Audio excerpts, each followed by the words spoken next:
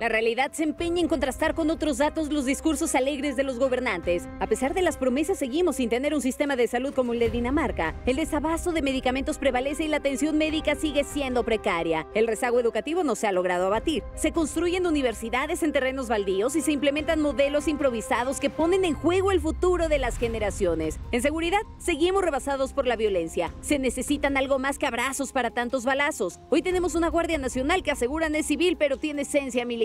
La economía permanece en terapia intensiva, incertidumbre, falta de inversión, conflictos comerciales innecesarios se suman a los males de la lenta recuperación. Los mexicanos no debemos minimizar los problemas del país, que no nos envuelvan con sermones idealistas que solo reflejan un país inexistente. Requerimos acciones concretas para todo México. No permitamos que la improvisación y un discurso de propaganda polarizante nos impidan cambiar el rumbo.